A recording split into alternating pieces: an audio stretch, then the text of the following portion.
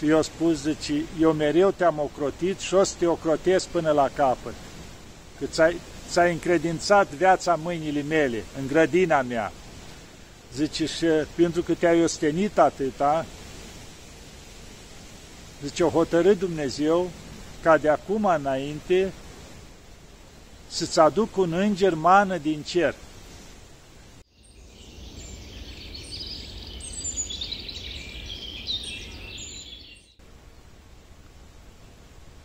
Iată, dragii mei, că ne vedem iarăși. Așa, în pădure, la loc liniștit, exact cum spune undeva, la munți aleargă suflete, acolo unde e liniștea, pacea. Da, întotdeauna în păduri, zone retrase, în munte, e mai multă liniște. Și știți de ce? În afară că nu-i gălăgia asta omenească care o produce omul prin toată nebuneala ce este acum, pădurile, munți sunt mult mai curate. Nu numai în privința aerului, dar nu au fost murdărite de mâna omenească atât de mult. Dar întotdeauna, din timpurile vechi, în păduri, în munți, și-o găsit scăparea cei care au vrut să se liniștească, să se roage, să dedice lui Dumnezeu, puznici și tot felul de oameni care au trăit liniștiți, în păduri s-au dus. De asta și pădurile au pacea și liniștea lor. În afară că e aerul curat, te liniștești, nu vezi când nu mai poți și te duci undeva într-o pădure, dacă poți să lași, bineînțeles, și tehnologia în urmă, să nu iei cu tine în pădure, să te duci și să te liniștești, să te plimbi, să admiri ce este, mai spui o rugăciune în minte, mai cânți ceva, te bucuri, trăiești cu adevărat. Da. Și uitați că acum tocmai a fost și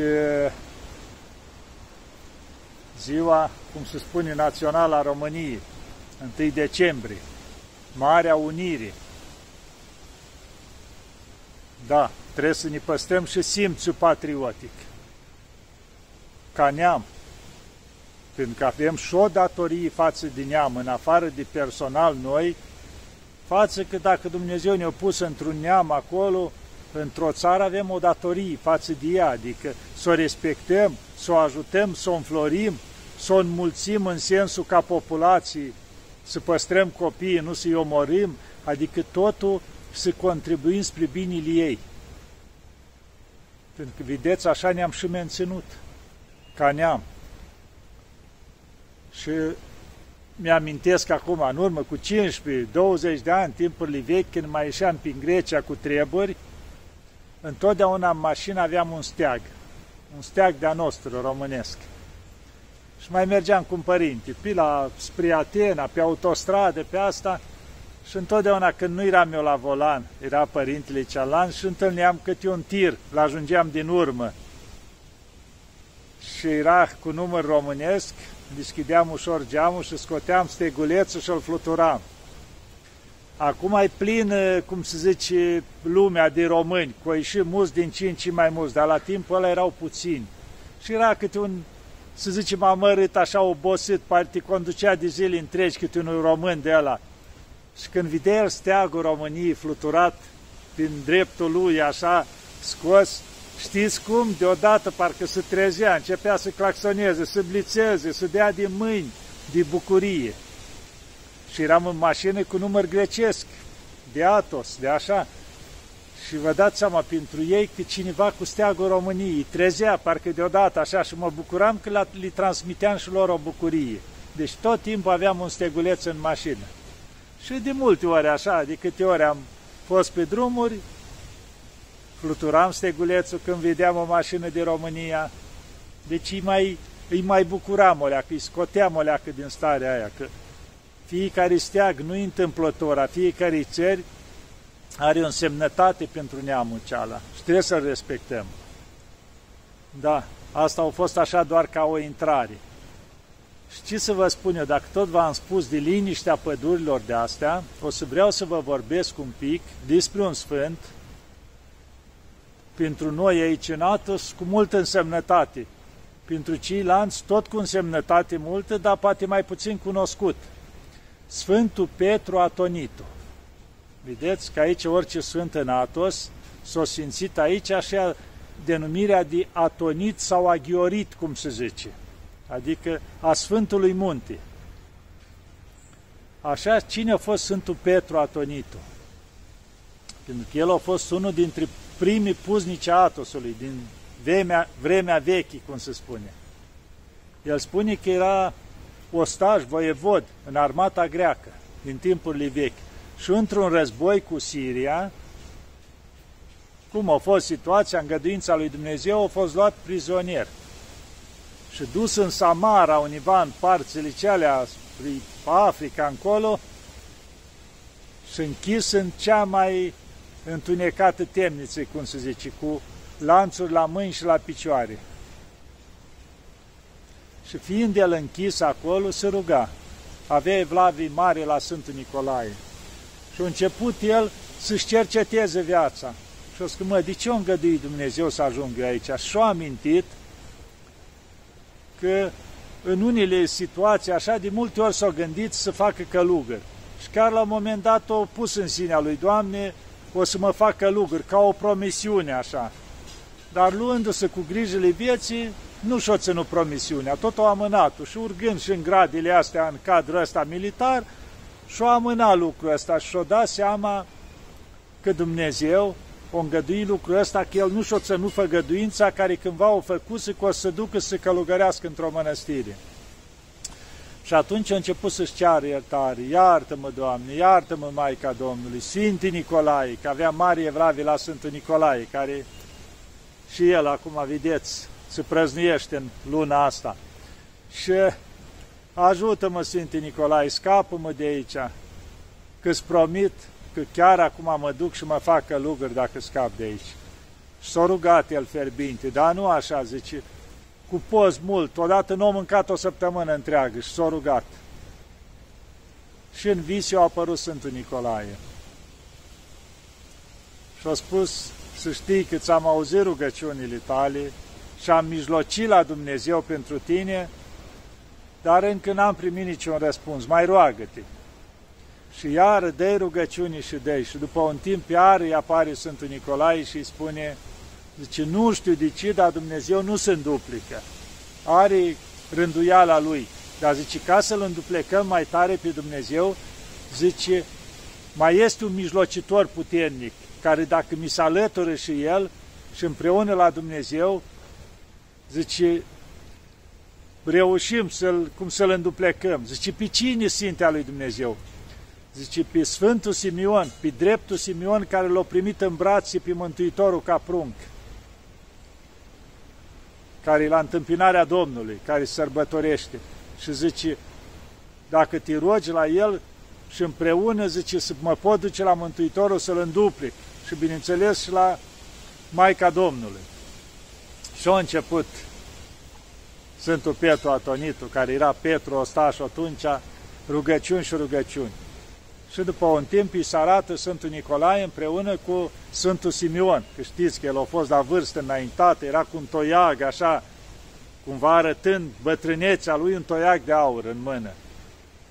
Zice, ce vrei omule, de ce strigi atâta la Nicolae aici, zice, și o, o, mi-o cerut și mie să vin, să mijlocesc. Păi zice, Sfintea lui Dumnezeu, iartă-mă, dar zice, vreau și eu, zice, să scap din temnița asta. Zice, da, vei ține făgăduința? O țin, mă duc și mă fac călugă. Ce bine atunci. Zice, hai, zice, să ieși din temniță. Dar cum să ieși? Nu vezi că am picioarele și mâinile în lanțuri? Și atunci Sfântul Simeon cu toiagul i-a atins. Zice, lanțurile la mâini și la picioare și s-au desfăcut deodată. Și s-a deschis ușa temniței și-o plecat în urma lor. Dar aici nu era în vis, era în realitate. Îi văzuse chiar lui așa, îi se părea parcă plutea. Și-a ieșit printre străzi, a ieșit și-a mers până la marginea și-a ieșit și din cetate de acolo. Și atunci Sfântul Simeon a zis, de acum Sfântul Nicolae, ai tu grijă de el. Și el s-a făcut nevăzut. Și Sfântul Nicolae l-a luat și a plecat cu el. Până l-a scos din ținuturile cealea, cum se spune, l-a adus la pământul grecesc. Dar i-a spus să ții făgăduința, eu o să fiu cu tine. El ce făgăduise? Că dacă va scăpa din temniță, să va aduce să va călugări la Roma, că dacă purta și numele de Petru, la Biserica Sfântului Petru din Roma.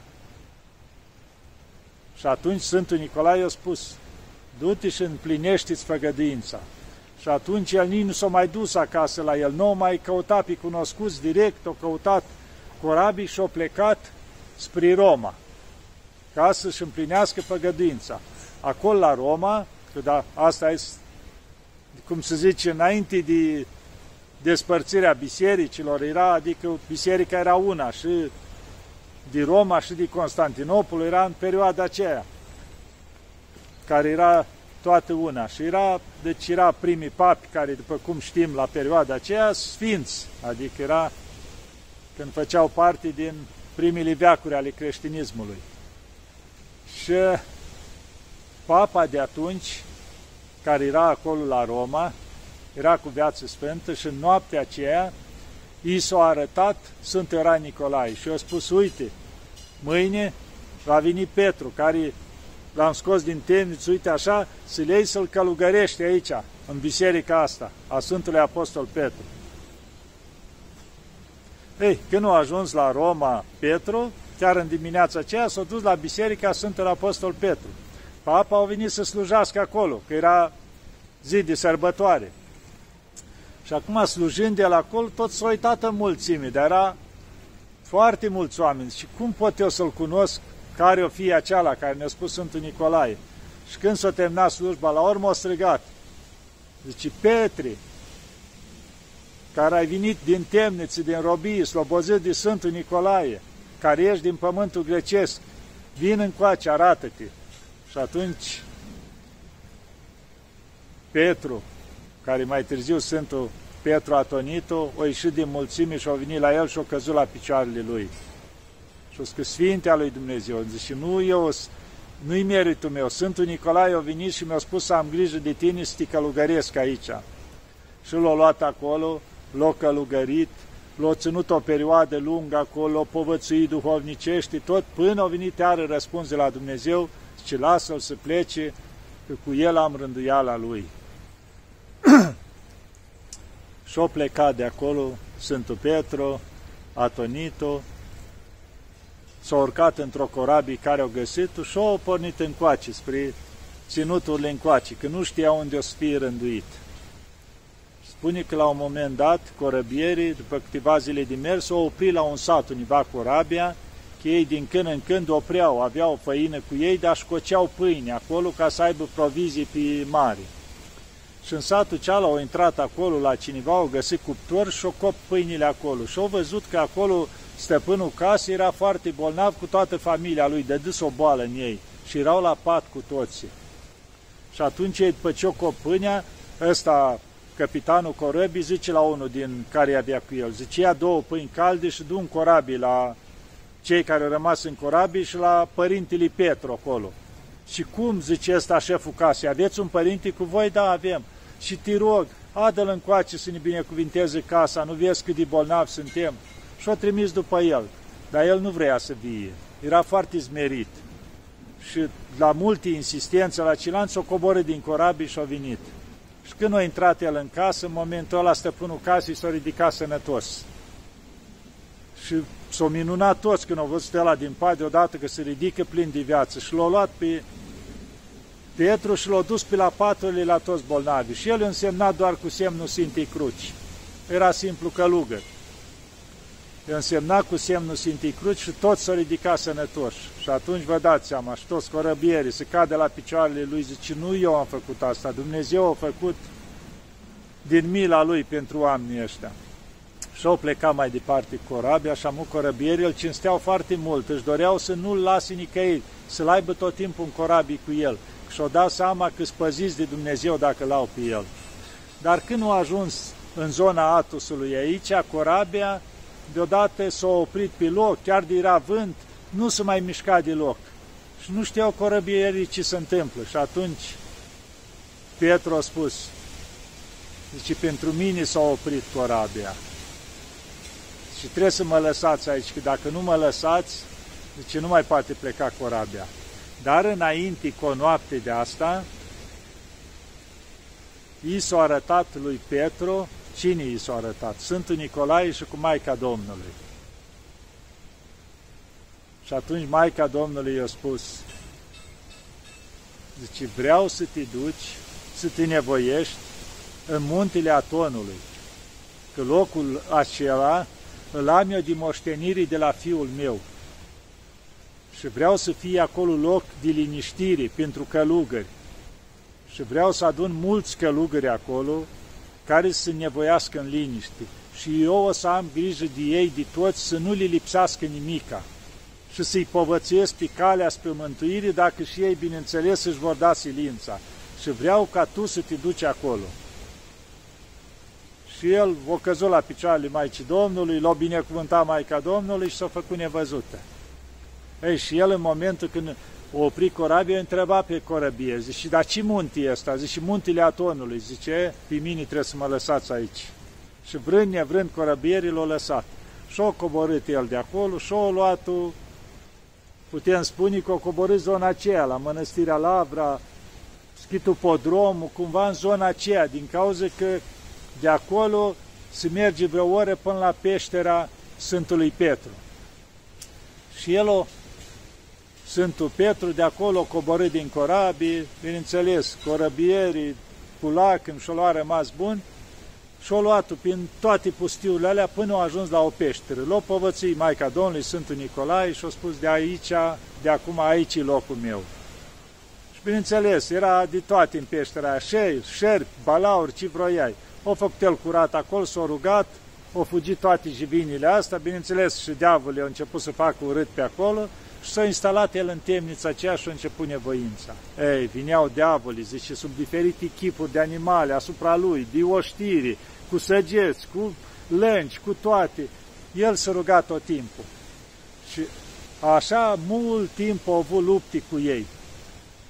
Ei, zice, după o serie de ani de nevoință în care diavolul a încercat toate căile, au văzut că nu pot să-l biruiască, o lua chipul unii foste sluji de-a lui, că dacă el era ca voievod, avea, vă dați seama, avea posibilități, cum zice, materiale, avea slugi, avea... Zice, vai, stăpâne, bine că te-am găsit, zice, o căzut în genunchi, ăsta zice, că de când te căutăm și am aflat că ne și ne-a rugat la Dumnezeu și Sfântul Nicolae ne-a științat că El te-a eliberat din temniță și te-a adus aici. Și zice, Sfântul Nicolae ne-a ne-a arătat unde ești și ne-a trimis că să vin, să te rog, să te întorci în patria ta și din nevoințele ce ai făcut și la starea de care ai ajuns tu duhovnicească, știu eu, să vii să-i folosești pe toți de rudele tale și pe toți din cetate de acolo. Și atâta plângea și cădea în genunchi încât o leacă l-a tulburat pe Sfântul Petru, l-a umilit, să zicem așa, și el a spus, nu plec de aici, dacă nu vine aici de față Sfântul Nicolae și mijlocitoarea mea, Maica Domnului, care mâinile lor mi-am pus toată nădejdea. Eh, momentul când au spus el de Maica Domnului și de Sfântul Nicolae, o dispărut și slugă și tot. Și atunci o dat seama de cursele vrăjmașului. Și dă nevoință în continuare, și dă și dă Eh, o mai trecut o serie de ani, și acum apare deodată un înger de lumină, un arhanghel cu sabia în mână, cu așa. Zice, Petre, ia aminte la mine. Și da, cine ești tu? Sunt arhanghelul Mihail, trimis de Dumnezeu, să spun că pentru marea ta ostenială și nevoință ai primit mare dar de la Dumnezeu. Ai ajuns mai mare decât Moise, mai mare decât Ilie. Au început să înșire acolo toți mari sfinți, ca să-l poate să-l umfle un pic, știi? Mândria, să zic că, măi, ce tare am ajuns eu. Și pentru asta Dumnezeu mi-a poruncit să vin să spun, să lași pustia, să te întorci în lume, să folosești lumea. Că ai ajuns la mari virtuți. să uită așa Sfântul Petru, era ajuns la o măsură duhovnicească, deși înțelegea anumite lucruri. Deci niciodată nu voi pleca de aici dacă nu vin mijlocitorii mei, Maica Domnului și Sfântul Nicolae și îmi poruncesc ei lucrul ăsta. Ei, bineînțeles, când pominea numele Maicii Domnului, zice, se împrăștea totul și îngerul ăla care părea arhanghel, cum se zice, fumoi și totul. Deci vă dați seama câtă putere are Maica Domnului, deci nu suportau numele Maicii Domnului, dispărea diavolul. De asta spune mereu, strigați la Maica Domnului, că împrești tot răul din jurul nostru. Și s-a liniștit, cum se spune, lucrurile astea și el și-o continua nevoința. Și atunci, după multă nevoință, i s-a arătat Maica Domnului. Și eu spus, zice, eu mereu te-am ocrotit și o să te ocrotesc până la capăt. Că ți-ai ți-ai încredințat viața mâinile mele, în grădina mea. Zice, și pentru că te-ai ostenit atâta, zice, o hotărât Dumnezeu ca de acum înainte să-ți aduc un înger mană din cer. cu care să te hrănești. Că el, vă dați seama, atâți ani o trăi și el cu ce creștea pe acolo, cu iarbă, cu bureți, cu cine știi, cu fructe, ce găsea, nimic altceva. Și, bineînțeles, mai mult cu rugăciunea. Și i-a arătat chiar și o mână a unui înger cu mana. Zice, uite așa ai să vezi, la 40 de zile o să-ți aducă mană cerească, ca să știi să nu fii înșelat. Și atunci, bineînțeles, o căzut la picioarele Maicii Domnului și din clipa aceea, a doua zi, a venit îngerul și a adus mană. Și zice, o mâncat mana aceea cerească și timp de 40 zile nu i-a mai fost foame. Și odată la 40 zile vinea îngerul și i-a, i-a adus, îi aducea mană cerească. Vă dați seama, timp de 50 și ceva de ani, cât s-a nevoit el în pustii până la adânci bătrânețe, bineînțeles, au avut seria de ani la început, poate vreo 20 de ani din nevoință, când au trăit cu ce au fost acolo. Dar după aceea au trăit cu mană cerească. Vă dați seama la ce măsură a ajuns. Exact cum poporul evreu în pustie, hrăniți direct de Dumnezeu cu mană cerească. Aici îi aducea îngerul. Și zice, na, când o să coti Dumnezeu că timpul s-a apropiat și sfârșitul lui, a venit un vânător, cum erau locurile pustii, și a luat el prin păduri, prin astea, să vâneze. Și a văzut un țap așa, de ăsta sălbatic, prin pădure. Un cerb mai mic de ăsta, să zicem. Și a început să-l urmărească. Și ăsta tot fugea, fugea până s-a oprit lângă peștera Sfântului Petru. Și el atunci s-a apropiat cu arcul pregătit. Și în momentul ăla l-a văzut pe Sfântul Petru, că a ieșit din peșteră și a venit lângă țapul ăsta, lângă cerbișorul ăsta. Și atunci el s-a speriat, că ce s-a întâmplat? În atâția ani crescuse, el nu mai avea haine, dar avea păr pe tot trupul crescuse. Și barba și părul erau lungi până la pământ. Și atunci el s-a speriat și a început să fugă. S-a întors repede și atunci Sfântul Petru striga, de ce fugi robule al lui Dumnezeu? Și eu sunt om. Întoarce-te încoace să nu-ți fie frică. Că zice, Dumnezeu te-a trimis aici. Și s-a întors ăla, a venit, a luat binecuvântare și atunci zice, dar cine ești? Zice, hai să spun viața mea, că pentru asta te-a trimis Dumnezeu. Și o povestit toată viața asta la vânător și au spus, acum du-te cu pace, nu mai spune la nimeni, dar peste un an vină din nou. Zice, dar vreau să fiu ucenicul tău să rămân aici. Bun, te duci acasă și începi odată o rânduială, așa, din nevoință, nu mai mănânci carne, te înfrânezi, începi post, așa, așa, trăiești un an că el era căsătorit vânătorul, fără soția ta, te probezi să vezi dacă ești bun de puznic.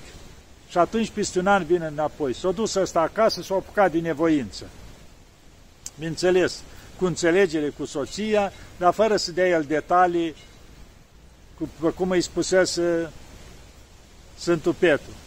Și când s-a împlinit anul, au mai luat doi călugări de acolo, care îi cunoștea și pe fratele lui, care era împreună cu el cu corabia, și au venit în apropiere.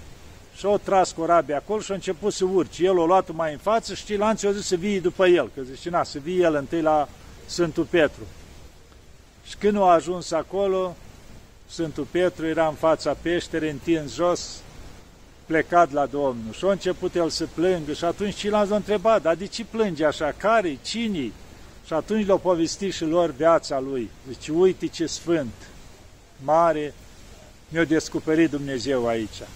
Și atunci au plâns din destul, l-au luat, l-au pus în corăbioara cu care vinise și au plecat univa în Macedonia, de unii se trăgeau ei de acolo, vânătorul ăsta. Și au plecat în Macedonia acolo și l-au dus în satul lor.